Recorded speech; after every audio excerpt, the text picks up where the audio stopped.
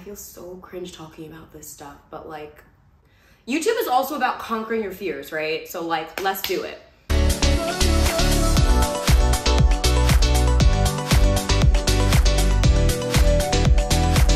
The Wild Wild West.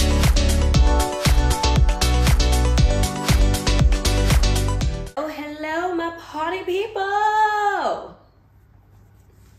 Good morning, sorry for being extra. Welcome back to the second vlog.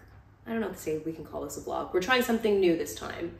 This is gonna be a little bit more of a, you know, quality time, nice, cozy chat with friends, between friends. My original idea for this video was to do one about the power of pivoting. We are on a certain path and we decide to like change or change direction. Sometimes it might even make us feel disappointed in ourselves. I'm here to tell you, nah, get rid of all those ideas because there's a lot of power in pivoting. It can make such a vibrant, full, colorful, amazing life. And there's a little bit of beauty in like not knowing what's gonna happen. It's a spice of life. My journey in pivoting is a very full journey. So we'll start today with like part one. Let's get into it. I was born in Brooklyn to two Caribbean immigrant parents. Keeping it real, like I had a fairly like strict upbringing. I think about like when I think about my upbringing, I think about like other um, kids of immigrant parents who like have all these rules. Like I wasn't allowed to go on sleepovers.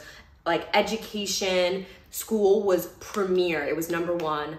I went to school like normal school. I didn't go to normal school. I actually went to a school for accelerated kids, but that's a different story. So I went to school Monday through Friday. And then my parents legit had me enrolled in like a separate school on the weekends. So like on Saturdays, I was also going to school. I was going to um, an academy. It was called Elite Academy, and I was there from like 9 a.m. until like 2 on Saturdays. And I was like learning like advanced math and like all that kind of stuff. Anyways, my parents were like pretty strict, I think, which is common for kids of like immigrant parents in the US or in UK. It was basically like Harvard or bust as far as college goes, uni as they say in the UK. Yeah, that's where I went. like I didn't really have much of a choice. Like you're going to college and you're going to Harvard and like period. Plenty of stuff to unpack there. We'll do it in another video. And yeah, in my family, both of my parents, like they worked really, really, really hard to leave. Sometimes I like don't really like these loaded words. I feel like especially in 2024, people like add so much to words. But I'm gonna say they left poverty. They left poverty, right? In their respective Caribbean Caribbean countries. So they worked super hard to get to the US and then super hard to like keep making it in the US, American dream. Both my parents worked hard to be in the medical field and for them it was like, yeah, you have one or two options. You're gonna be a lawyer or a doctor, choose one. I know that sometimes for like some kids with African parents, it's like lawyer, doctor, engineer. I don't, I don't think my parents like really knew what that engineer stuff was all about. Um, you're gonna be a lawyer, doctor, pick one. I literally chose law because it had less blood. Ended up going off to Harvard for undergrad and spent four years there. And then after my four years at Harvard, I did another full three years to get my Juris Doctorate at another Ivy League institution, but this time I moved back to New York, so I was in New York City for that. And then straight from law school, I went into big law and I worked for like like a pretty good, pretty legit law firm. Obviously, I'm making this video because big law wasn't for me. Literally being a lawyer like wasn't for me. Your girl loves to talk, she loves to advocate. But I think being passionate about advocating is very different from like lawyering. Mind you, I was a corporate law lawyer. I was doing like, if anybody knows what ISDAs are, like that was what my job was. To this day, I can't even really tell you what an ISDA is. That's a whole nother story, but anyways. Um, and obviously it wasn't for me. I had always been a very creative girl and young woman. I had been probably singing before I could talk. I loved performing. I danced all throughout my childhood and my adolescence, my teenage years. I was a ballerina, I did hip hop, jazz, all that stuff. And I tried my best when I was in undergrad to like continue that. Harvard, for instance, is not a place that is known for like dancers or singers or anything like that. So that was interesting, like trying to find the right space for me there. When I had moved back to New York after Harvard and I was in law school, like obviously law school kept me very busy, but in the evenings or like on the weekends, I would jump on the train and head downtown to go to like jam nights. I loved singing jazz, so I would go to a lot of like jazz jam nights and stuff. Would meet a lot of very cool people my age who were also um, doing music, many of which were still doing music and are like doing amazing, wonderful things in music. Shout out to any of y'all that are watching this. And yeah, even when I was in law school, I even started a YouTube. so like, I, am definitely not an OG YouTuber. I did it for like a few months, kind of felt like it wasn't for me and I stopped. Um, this was over 10 years ago. You won't be able to find that channel. Um, where I was singing covers and like all that kind of stuff. I was really extra. I was like doing full music videos and everything because I like I'm create like I have creative expression that just wants to come out of me. So um I was doing a lot.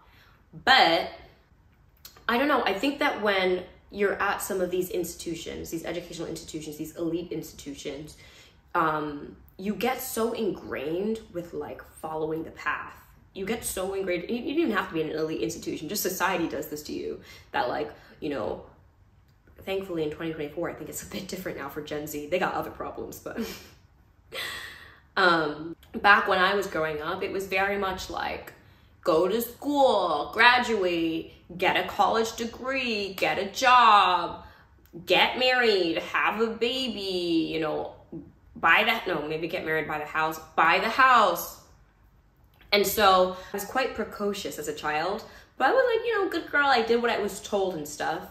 There were definitely, there was definitely a price that I paid for that and things I'm kind of making up for now in my adulthood by leaning more into just like being me and doing what I want.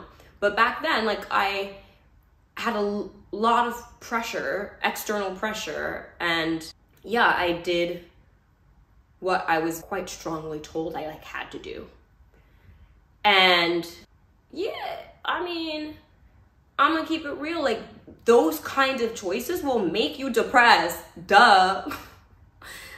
Doing something over and over again, which is not what you really want to do when you have something else that you actually really want to do, is going to like make you unhappy. So I battled a lot with that. You know, I think I was very, very high functioning. So sometimes it maybe wouldn't be obvious like i had these like internal things that i was struggling with maybe sometimes it was i was also real extra when i was in college so maybe that made it obvious um but yeah i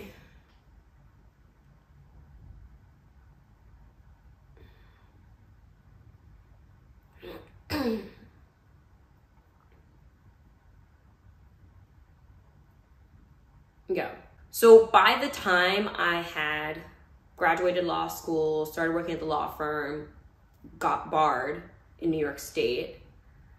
I was just like, something's gotta give. Like, at some point, I need to get off of this moving train that is not moving to the destination where I wanna be. Like, where this train is going is nowhere where I wanna be.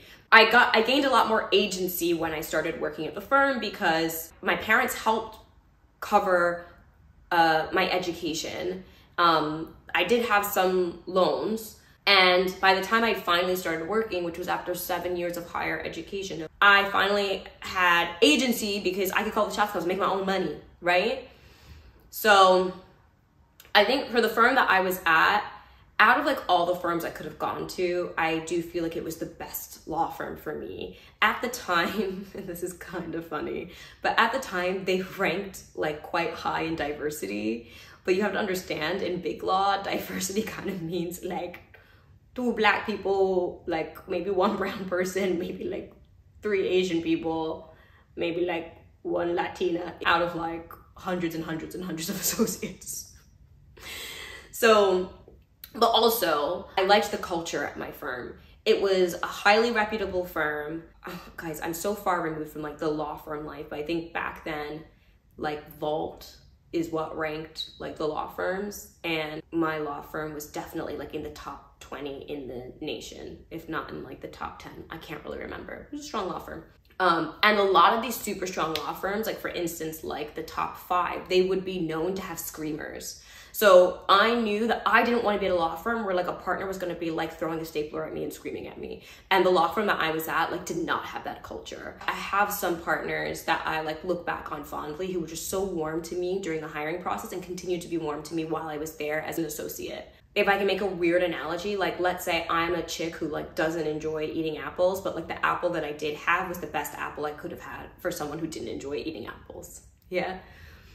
Because I knew that the destination wasn't for me, like I had stayed on the train for so long, by the time that I was an associate at the law firm, I was like, okay, if you stay on this train, the only other destinations for you to go to are the only other track for you to kind of aspire towards is the partner track right? Because like, okay, when you're in high school and you want to continue with education, you can aspire to get to like a very good university that could then maybe get you into a very good job or a very good uh, like master's program or whatever it may be. There's a lot of like steps you can kind of keep looking to.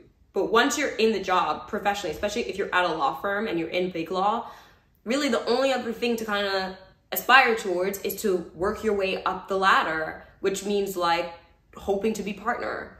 And at the end of the day, I knew I didn't want that life. That life was so far from what I wanted. So I just had to be honest with myself and I did what I needed to do for about a year.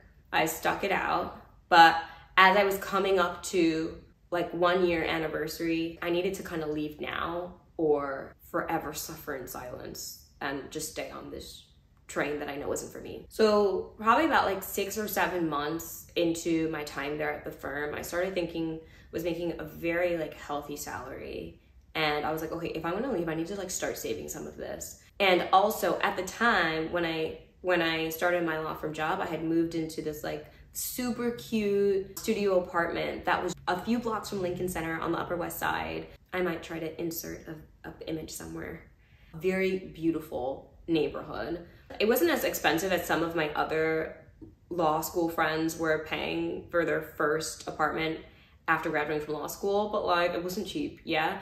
And for me, like the only upside to being at the law firm was I kind of felt like, oh my gosh, you know, I'm finally an independent woman living in New York City. I pay my own bills, you know, single girl working hard, doing her thing. And I felt like I was kind of living my little like sex in the city dream, you know, I had a super cute studio apartment, just like Carrie Bradshaw, um, in New York City, and I was working hard and like going on a lot of dates. That is definitely going to be another video. I'm going to tell you about. We don't need a lot of time for that one. But I knew that if I wanted to leave the law firm and pivot towards a more creative life, which at the time definitively for me was like i want to try and figure out how to do the singing thing professionally. I want to figure out how to do music. I want to be in the music industry. I knew that i needed to leave that apartment. A lot of times when you have like these law firm hours but you're like trying to like look for an apartment i would have to kind of like leave on my lunch break go run to meet this realtor, check out the place, see if it worked. Long story short, I found a new living situation, so I wasn't even signing into a new lease. I was to sublet. I legit moved almost 100 blocks north from bougie Upper West Side to Washington Heights, where all my boutique was at. A once I had gotten myself settled into that new place, it was a super cute fourth story walk up. It was a three bedroom, and I took like, I had this little cute room, it had exposed brick, and the neighborhood was just so different from where I was living there were so many more artists, so many more musicians up in that neighborhood. So I already kind of felt like I was like taking a step in the right direction. And once I had that comfort of knowing, okay, now I live somewhere where my rent isn't super expensive, I cut my rent down to I think almost like a quarter, a quarter of what I was paying to live alone in that studio when I moved in with two other roommates in Washington Heights. That basically allowed me to to quit my big law job. I didn't make like an amazing financial plan of like saving that would last me like two years. I mean, keep it real, those savings last me probably about like six months. Cause there's saving and then there's also like transitioning your mindset from like, ooh, I make six figures to like, now I'm not making nothing. I can't spend in the same way. I definitely spent a lot less once I lost my job, but like, you know, I probably could have made that money last longer if I was more diligent about like changing my spending. So then that that set me up to be able to quit. And when I say, woo, the anxiety I had around quitting my big law job, it wasn't even like anxiety that I had because I didn't have something else lined up. Kind of just had a firm faith and a firm belief like I'm going to figure it out. The anxiety that I had had so much more to do what I thought other people would think about me quitting. I had anxiety about how my colleagues would respond to me quitting. You know, what people in my network would think about me quitting. Keep in mind that I did my undergrad somewhere where a lot of people go off to be like, well, a lot of people start rich. A lot of people, Harvard just takes a lot of rich people to start with. But a lot of people go off to like be very successful, whatever that means. What society makes us want to think is successful, meaning like having a lot of money and like so on and so forth. So I had a lot of anxiety about, I don't know, judgment from other people, which now I realize in hindsight is stupid. So here's my first tip. No one is thinking about you. Yeah? Most people, like almost all people, are thinking about themselves. No one cares like what's going on with you. They care about themselves. When I ended up quitting, I thought I was gonna get so much judgment from like my colleagues and stuff because I I decided I was going to be honest. I wasn't going to be like, "Oh, I'm quitting and I'm going to another firm" because I wasn't. I'm quitting because like I don't really I don't really want to be a lawyer and I like want to go figure out how to have a life in music and as an entertainer. No lie, when I came in that day, when I was sending the emails to like the partners that I worked with, the response I got was so shocking. The number of like senior associates, wow, this is amazing. Honestly, you go, girl.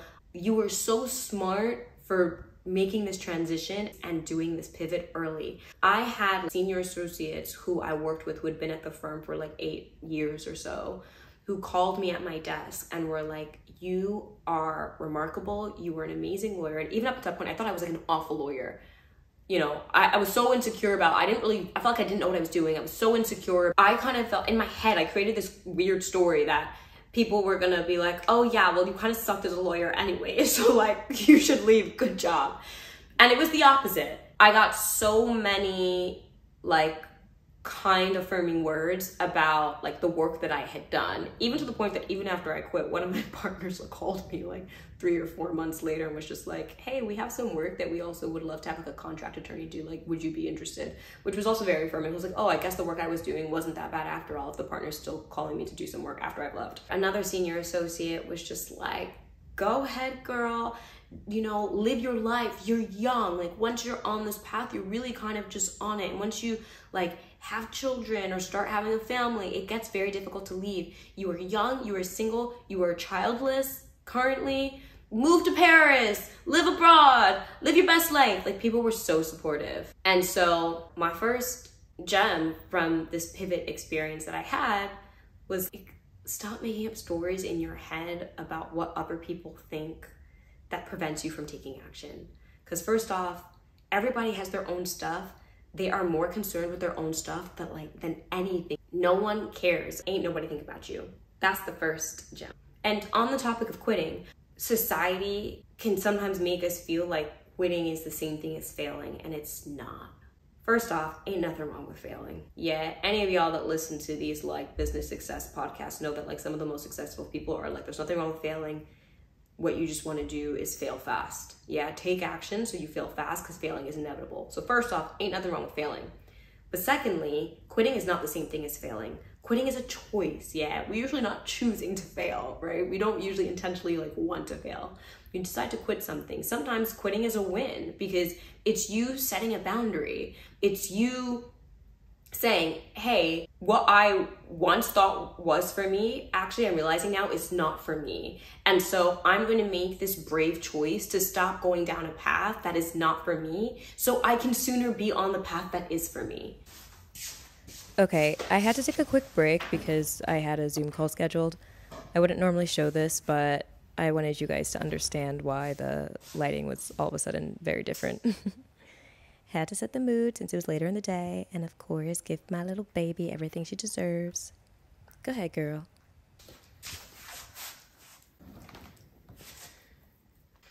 And we're back after a brief intermission. Okay, so where did I leave off? So then I quit, and it definitely was kind of like bittersweet, but I was ready to go. I loved my office mate. And I know she's probably watching this all these years later, and maybe even her mom is watching it too. Um, and I had grown very, very close to her. So it was like super sad on my last day, and I definitely cried. But the people who are meant to be in your community stay in your community, and she and I are still friends, even though we're an ocean apart. So it's all good. So yeah, I didn't have a job. I guess we can call it fun employment, but I didn't quit and become unemployed like just to have fun. I quit and became unemployed to like figure my ish out and figure out how to pivot my life. And quite frankly, once I quit, it was like the wild, wild west. I had no idea what to do with myself because up until that point, it's like every single aspect of my life had been planned and structured because again, I was following a path and it can be so daunting when your whole life you basically are following an instruction manual. Maybe this is a weird thing to say, and like, oh yeah, I know I went to Harvard and stuff, but sometimes I feel like I do feel like I'm an intelligent person. I do feel like I'm a sharp person. I by no means think that I'm like a genius or in that category. I feel sometimes that with these institutions that we have our children apply to or send them off to, you know, these these assessments that we make children take to see if they, you know, are worthy enough to get in XYZ program or XYZ school. I feel like a lot of that comes down to just like following instructions and following rules. How good are you at following like steps? I think I was someone who soared at following steps. So I definitely felt like hella lost hella lost once I finally stepped off of the path. When you are in a place when you're feeling like stress and depression and unhappiness for a while, you don't just snap out of it, right? So I also kind of had to work through that. You know, I was unhappy when I was at the law firm I was glad to be leaving the law firm, but then when I was out of the law firm, I didn't have all this stuff to keep my time busy with. So the unhappiness was a like I had to face it, you know? So there were a lot, there was a lot in my daily life planning, in my weekly, monthly life planning, in my emotional well being that I had to deal with once I left. That said, even though it can be scary to step off the path, this is our second gem. There is a freedom like no other that you gain when you allow yourself to surrender to the unknown. So it was scary leaving, and I struggled with figuring out how to like make this, you know, professional music life I wanted to make. It's not like I had gone to you know Berklee College of Music or the New School or Manhattan School of Music and I had like this foundation or a community or a network of other musicians who also wanted to do music. I was this girl who had gone to an Ivy institution and was corporate and like wanted to go to the other end of the spectrum. It was very unclear to me to how to start that path towards like professional musicianship, but but actually, when I would sometimes voice these confusions to a friend of mine, she said to me, like, oh, why don't you try volunteering? Because she had done a bit of volunteering and she was like, you know, not only are you giving, but it can help you tap into a part of yourself that maybe needs to be explored more.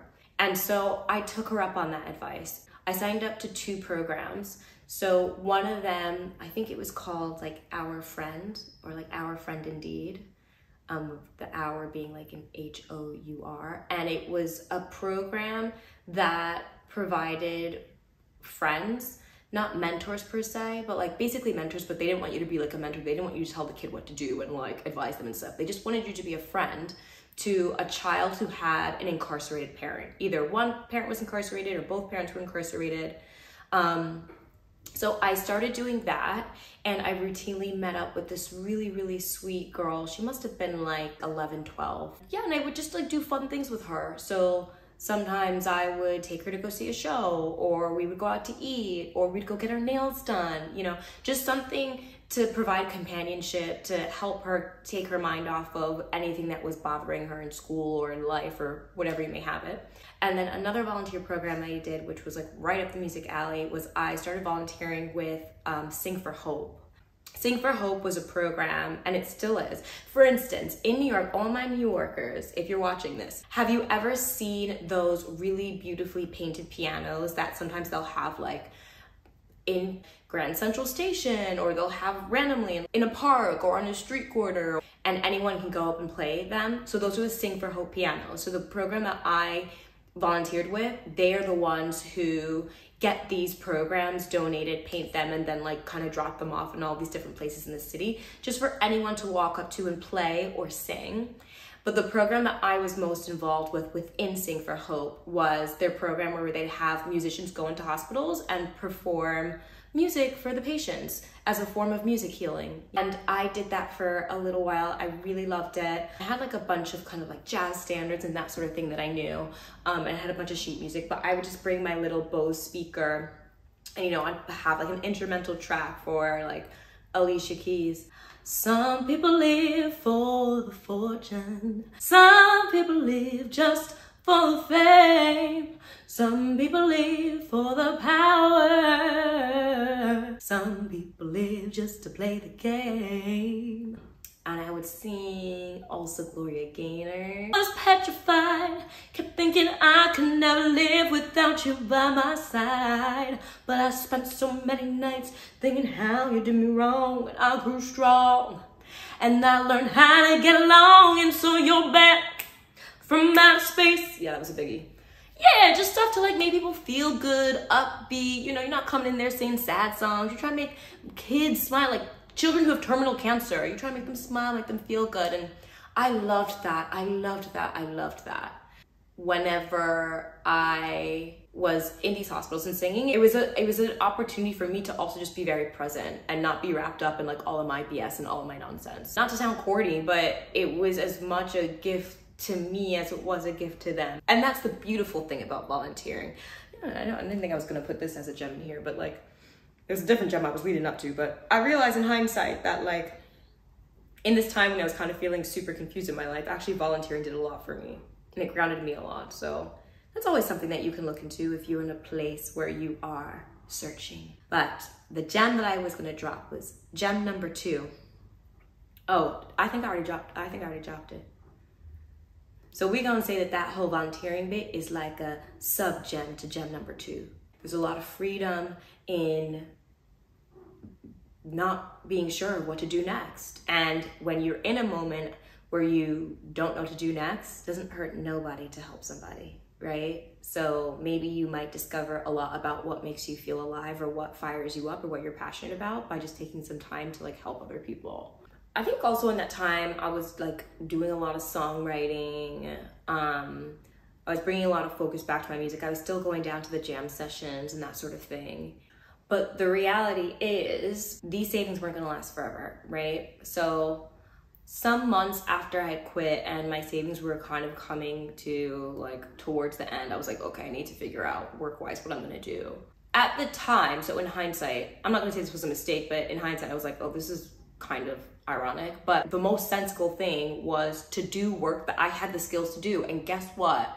I had the skills to be a lawyer. I started applying for contract attorney work as opposed to being in a firm where I was working as a part of the firm. I had a base salary, I got benefits, coverage, like all that kind of stuff. With contract attorneys, you're just taking on jobs as like a per hour hire and you're getting contracted out to do this work. So I hit up a few contract attorney agencies. Probably the third job that I got Funny enough. Remember how I said that part of my job when I was at the law firm was negotiating ISDA agreements? I'm not even to try and explain what I did because, like I said, I don't, I know I don't know if I ever fully understood it. But essentially, like you have two sides on this agreement, right? So, as the law firm attorney, like I'm representing one side, and then the other side would be a bank. And what's funny is my third contract attorney job that I took on was for one of the banks that I used to like counter negotiate against. So now I was in a contract attorney job and now at the bank that I used to be negotiating against. Sometimes I would need to email back my old partner.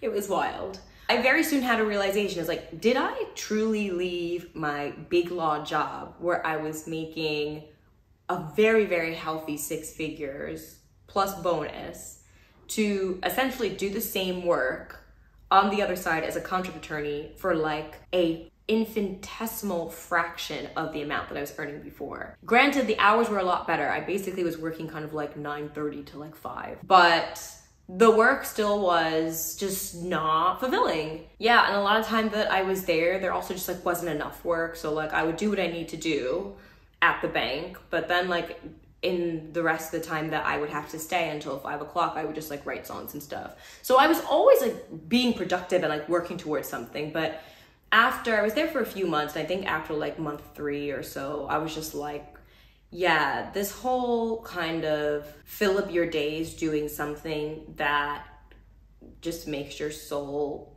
feel ugh, is not for me. And why did I go through this whole process to be financially stable, to quit my job, only to be back in a similar situation that's making less money? Clearly, the money was never it for me. But if I had this goal of being in music, it didn't make sense that I was filling out my time lawyering. So I left the contract attorney stuff behind. And this leads me to my third gem, or my third tip for anybody in a similar position, is we're so easily drawn to what's familiar to us, even if it's not what we want. It's very easy to keep going back to what we know. And that was something that I realized when I found myself in this like loop with the contract attorney work after leaving my law firm is I don't even really want to do this, but it's what I know. And so we kind of have to resist this urge to fall back into a resting state. Was that um, saying or whatever by Newton, that physics thing, like, hold on, I'll look it up in a moment just to make sure I'm correct, but like a, a, an object at rest will stay at rest unless it's acted on with another force. Let me just get the quote right. Hold on one second. Okay. I don't know if there's a first law of motion. I'm not a scientist, y'all, so that's why I gotta look this stuff up. First law of motion a body at rest will remain at rest unless an outside force acts upon it. So, what I'm trying to say is because it's so easy to to fall back into a place that is familiar to us. We have to fight this gravitational pull that brings us back there. If you want things to change, you have to put in the effort.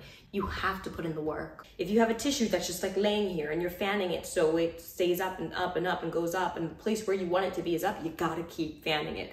Otherwise, if you stop, the gravitational pull pulls it back down to where it knows to be right? So we gotta do the work, we gotta make the effort if we want change. It was a big eye opener to me that I was so desperate to leave this place and and you know not be lawyering anymore. And then like six months later, I found myself back doing ISDA agreements at a bank as a lawyer. No, no, no, no, no, no, no, no.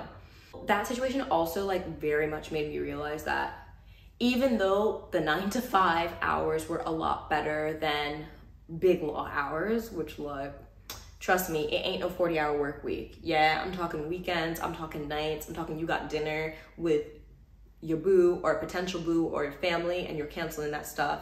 So even though it was nine to five and it wasn't these like insane hours, mm, it just might be the Sagittarius in me. Like I was just kind of not down for this I don't know, get up, go to work, stay there at the office the whole day, do the work, come back. Like, I'm just not a routine kind of chick. In the words of our favorite Taryn Delanie Smith, I'm a chaos goblin. I thrive in chaos. We move with it, yeah? We move with the chaos, we get it done. Do I thrive in chaos? I don't want to say I thrive in chaos because I don't want to like attract more chaos. To a certain degree, I also need like stability and stuff. We all need stability. We all need need a place to land safely, right?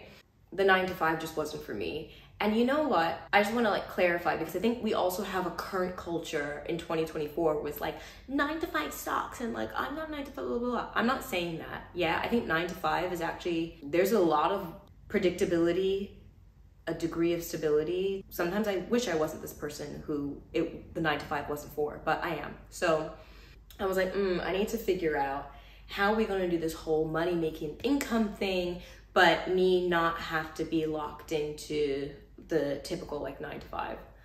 And I don't know what it was, if it was like divine intervention. I don't think it was divine intervention because this is not that like oh, of an idea. I guess after trying what didn't work, I was like, I got some skills. I know some stuff about the law. A whole bunch of other people out here who are trying to be lawyers. Why don't I tutor?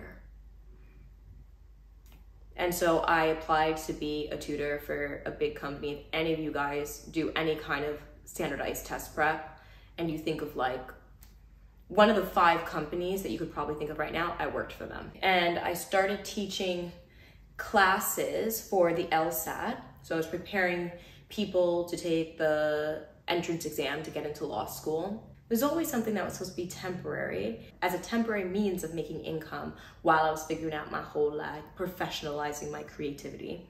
I also found as I was doing it that I enjoyed it. And I, I spoke to this a moment before, but this is an example for me of the difference between advocacy and lawyering. So, for instance, as a teacher, you're definitely an advocate. Like, I'm trying to help these people literally achieve their dreams. I enjoyed being a part of that process and being a coach and being someone who could offer guidance in that respect, even if their dream was not mine. I don't need your dream to be mine, but I believe in you going after your dreams. And if you put your mind to it and if you do the work, like humans can achieve almost anything, right? And with all the students that I've worked with over the years now at this point, I've always firmly believed in them. I've always made it clear of what they would need to bring to the table commitment wise. And if they could bring that, like I would help them. Anyway, so at this time, I was teaching classes. Um, and even that in its own, I felt like I, I got insight into what teaching is. Granted, teaching adults is very different from teaching children, but I felt like I got insight into what some of my friends do when they're like teaching children because when you're teaching a class and everyone's at different levels and everyone's at different learning speeds, it's like quite difficult. But you have to figure out how to make the most. I'll probably insert some footage. I don't know why I have footage of me teaching from back in the day, but I'll insert some footage of me teaching.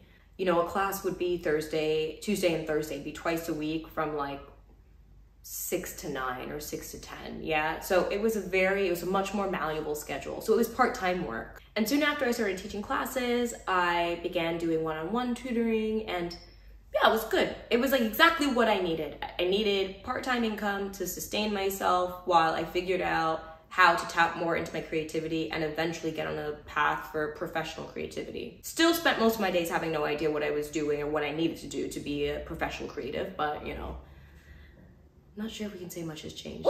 Just kidding. We've made we've gone a little further. Hi, puppy. Oh, I don't know if you heard that noise. Either she was laughing at my stupid joke or my baby is dreaming. I feel like she beating somebody. She throwing it down or something, beating up some other dog in her dream or whatever. Because these are pretty, pretty aggressive barks to be having while you're sleeping. I need to go to the bathroom. I'll be right back. Talking too much, that's why.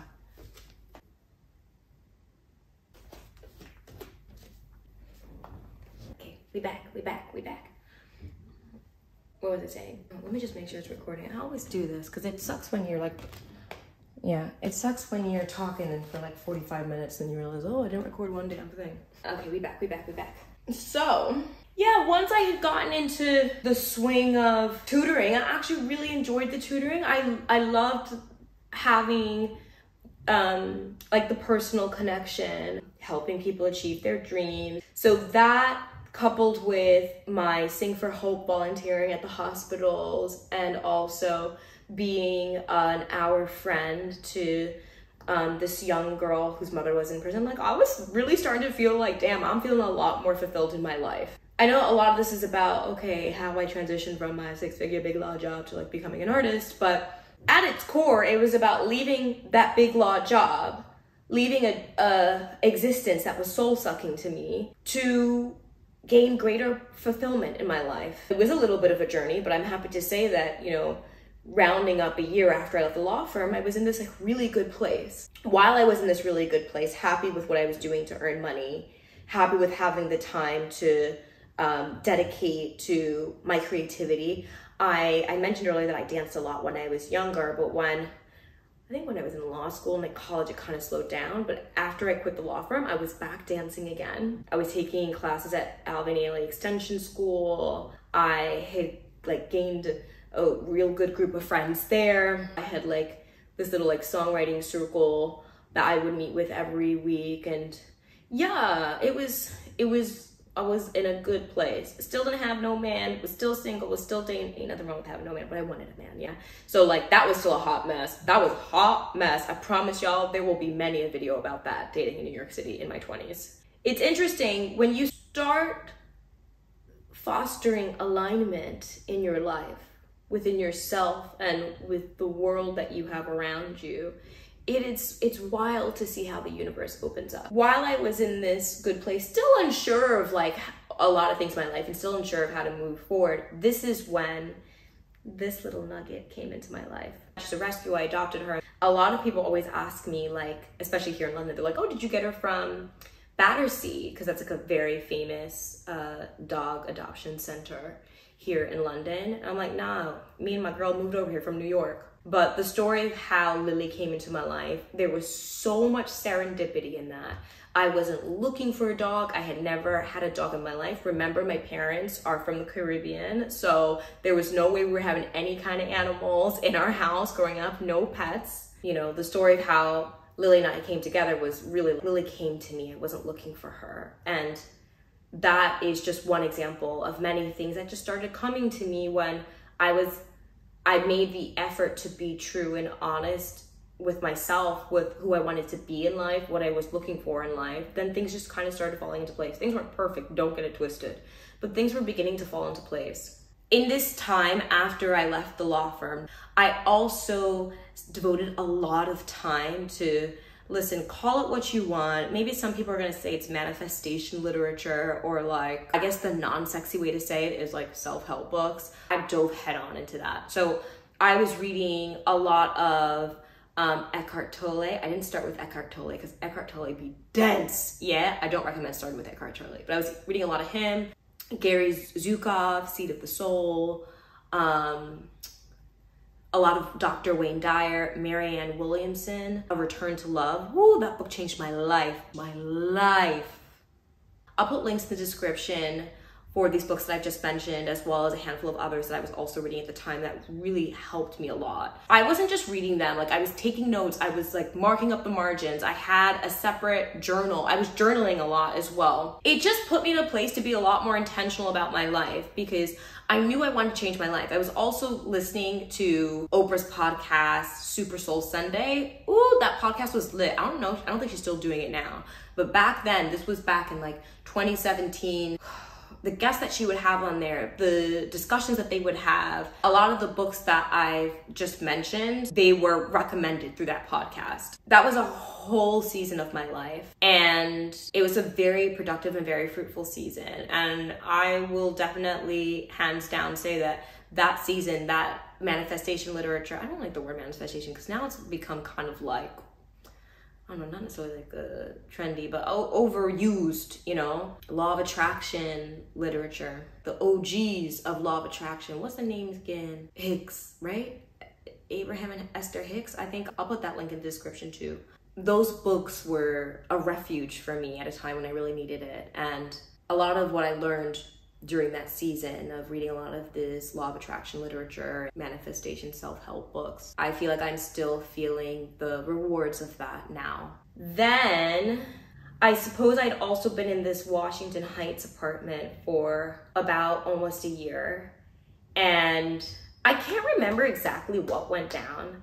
I might need to, uh, I think me and one of the old um, roommates from that apartment. I think we like follow each other on Instagram. I might need to hit him up and get in touch and be like, what went down? But something went down. I can't really remember where we had to move out of the apartment. I think maybe, okay, remember I told you I was subletting and by the time I release the video about my New York City apartments versus my London apartments, the full story will be in that. But I think what happened was I was subletting. So it was a three bedroom. There was a guy in living in one of the bedrooms. He was like a musical theater kid. Two of us were paying the rent to him, and then he was getting the rent to the landlord. And I think that for a while, the rent we were paying him, he was just pocketing. yeah, I think that's kind of what happened. And I think the other roommate found out and then told me. We were like, what the hell? But anyway, so coming up, I spent about a year in that apartment. And then I moved like maybe like 10 blocks south to Harlem, to Hamilton Heights, which I loved, loved, loved, loved, loved. And that apartment, I had put a lot of like love and warmth and care into. I painted, you know, it was the first apartment I moved into with Lily. But I think there still was like something missing. I loved New York. Still love New York. I will always love New York. Like I I beg that there's no second guessing to my loyalty to New York. I do love New York. But damn, New York City is a tough city to be in when you trying to like when you're just trying to live. You're just trying to live. You know, especially in your 20s, you're trying to figure out who you are, you're trying to figure out what you should be doing with your life, or if you have dreams and you're trying to make them, like New York City is not for the faint of heart at all. I never felt that way when I was in New York, but I remember seven months or so after moving into this new place in Hamilton Heights, I went on a holiday, and that holiday was in Europe. And I remember I had a great time in Europe and also had some like kind of crazy ish that went down that gave me like a lot of perspective about like what I was doing with my life. So, you know, had a bit of a life-changing moment as well in Europe. But when I came back from Europe, I just remember thinking like, damn, when I had to take my suitcase and probably wasn't even that big. When I landed at JFK and then took the AirTrain and then that brought me to the E and then the E brought me to I guess Penn Station and then from Penn Station, I take the one uptown, and I was just dragging this heavy suitcase up the stairs out of the the I don't know whatever station was by my house. Once I got out of up out of the station, I then had to take that suitcase up a hill to get to my apartment building, and then I had to take that suitcase up four flights of stairs.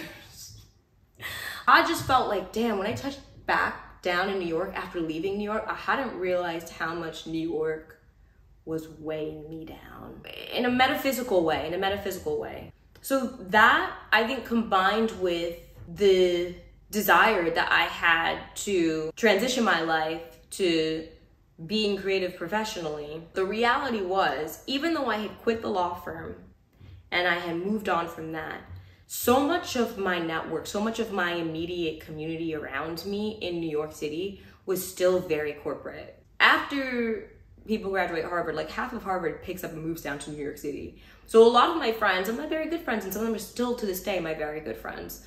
And I don't, you know, it's cool that we were different, had different desires, and there's no fault in that. There's no fault, you know, being placed on anyone. But the reality is, is I wanted something like different. I wanted a different kind of life from a lot of my friends.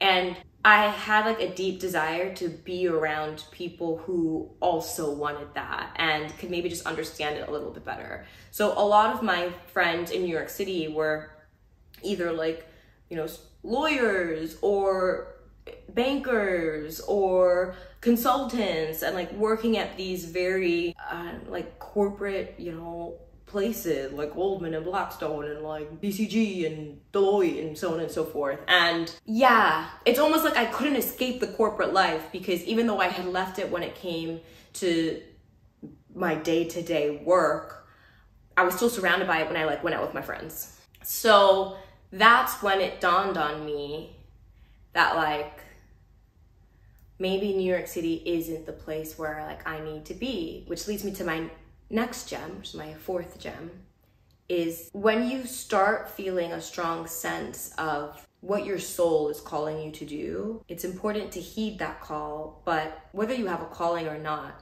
it is also so important to find your tribe. And I had the bestest of friends in New York, and I still have the bestest of friends in New York. But like my tribe for what my life was calling me to do was not in New York we are still human beings, like we are animals. You and me, baby, ain't nothing but mammals, so let's do it like they do on the Discovery Channel. Um, I'm a fool. We're animals and we need tribe. We need that community, yeah? That also reminds me of Diary of CEO episode I listened to, not even that recently, I think this was like a year ago. And there was uh, someone that Steven, the host of it, had interviewed, and he said something that really resonated with me. Let me see if I can find the example because I'm pretty sure I Instagram stored it at some point. So it must be in my Instagram story archives. Let me find it. Let me find it. Instagram's kind of on this BS lately where I don't know what's going on, but some of the stories from my archive just like have disappeared and don't exist anymore. I think Instagram needs to get it together for real. Like even some of my highlights, like I didn't delete that stuff, and all of a sudden I have some of my stories, my highlights that are deleted. Okay, so of course I can't find it, but it was Steven was talking to this guy, and he was just talking about how there's this like lizard when the put the lizard in Antarctica and it will freeze and just like curl up and probably die.